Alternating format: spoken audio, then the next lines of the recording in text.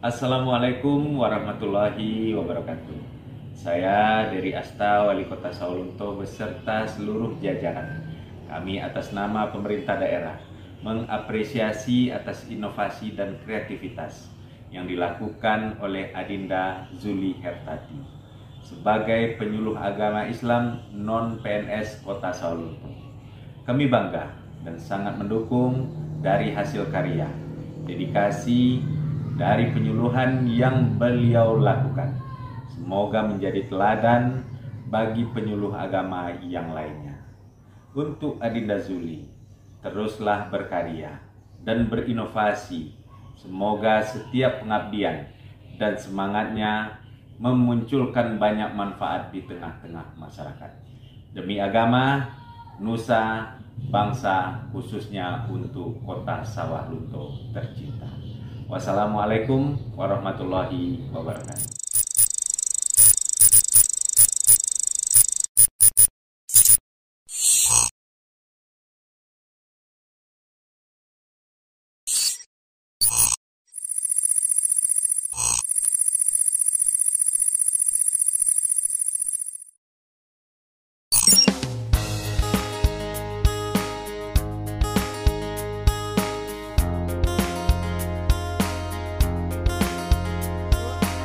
Masjid tidak hanya berfungsi sebagai sarana ibadah mahdoh saja bagi umat Islam, akan tetapi, juga digunakan untuk ibadah lain, atau disebut goiru mahdoh, di antaranya, membangun ekonomi umat melalui pemberdayaan masjid.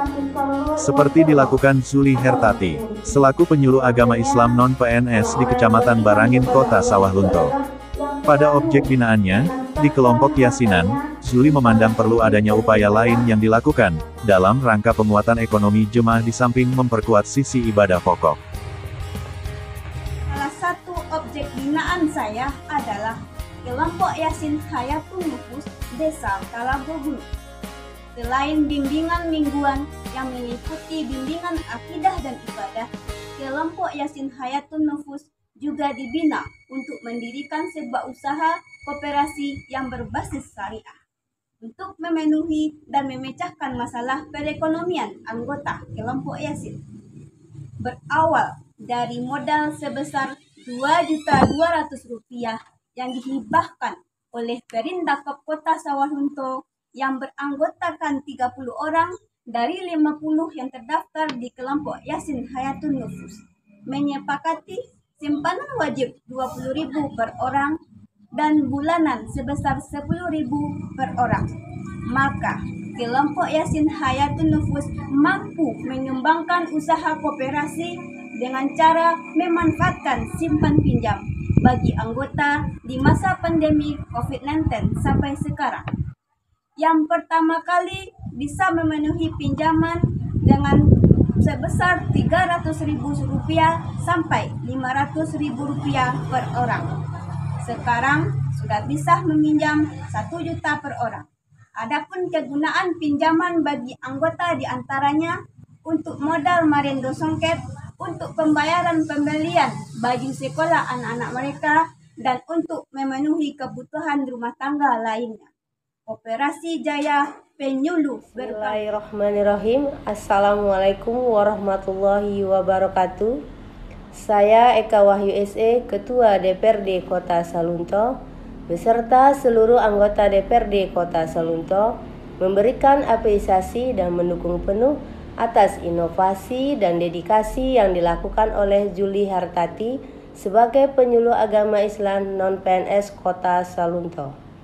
Dari hasil karya dan inovasi yang beliau lakukan berhasil memunculkan sebuah gagasan baru untuk memberikan solusi terhadap masalah ekonomi umat melalui koperasi.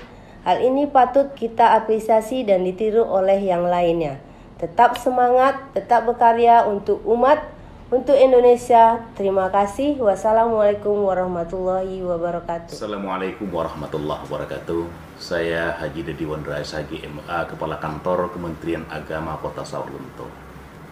Memberikan apresiasi dan mendukung penuh penilaian penyuluh teladan honorer Kota Sawalunto yang diusung hari ini oleh saudara Zuli Hertati. Patut dan membanggakan karya yang diapungkan oleh saudara Zuli. Memberikan teladan contoh kepada masyarakat, membangun perekonomian syariah melalui koperasi. Tentu ditiru dan diteladani oleh masyarakat, karena ini adalah bagian tusi daripada Kementerian Agama. Semoga Zuli Kartati bisa memberikan kontribusi sumbangsi kepada Kementerian Agama dan sukses di tingkat provinsi dan nasional. Demikian, bila taufiq hidayah, wassalamualaikum warahmatullahi wabarakatuh. Assalamualaikum warahmatullahi wabarakatuh.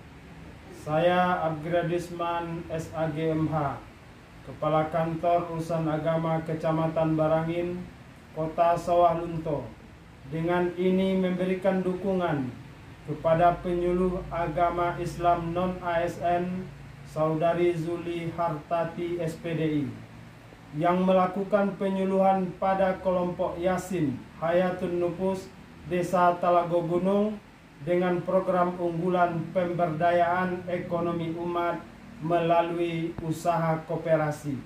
Semoga kegiatan yang telah beliau lakukan dapat menjadi tauladan bagi masyarakat untuk meningkatkan ekonomi umat. Wassalamualaikum warahmatullahi wabarakatuh. Yang Sarjana Pertanian selaku Kepala Desa Telagunung beserta jajaran kami atas nama Pemerintah Desa mengapresiasi atas inovasi dan kreativitas yang dilakukan oleh Adinda Zuli Hertati sebagai penyuluh agama Islam non PNS Kota Solo dari hasil karya dan inovasi yang beliau lakukan dan kembangkan di kelompok Yasin Hayatun Nufus Desa Telagunung berdampak positif bagi para jemaah hingga masalah ekonomi masyarakat dapat teratasi dengan baik. Kami bangga dan sangat mendukung dari hasil karya ini. Semoga menjadi contoh bagi kelompok-kelompok yang lain dan majelis taklim yang lainnya dan memberikan banyak manfaat bagi masyarakat, agama, nusa, dan bangsa. Wassalamualaikum warahmatullahi wabarakatuh. Assalamualaikum warahmatullahi wabarakatuh.